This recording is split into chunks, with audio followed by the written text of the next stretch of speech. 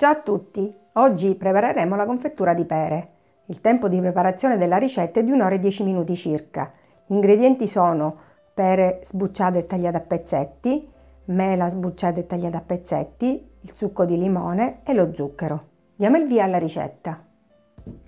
Iniziamo la ricetta mettendo all'interno del boccale le pere tagliate a pezzetti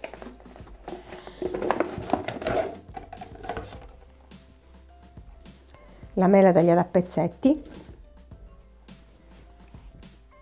lo zucchero.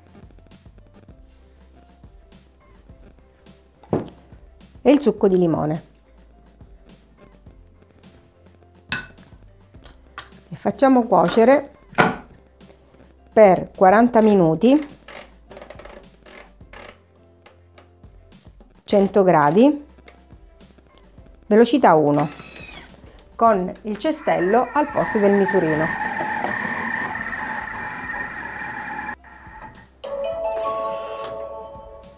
Adesso proseguiamo la cottura per altri 15 minuti.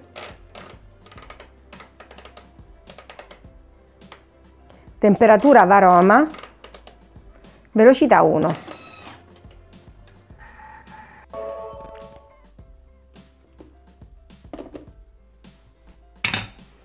A questo punto posizioniamo il misurino e facciamo frullare per 40 secondi a velocità 8.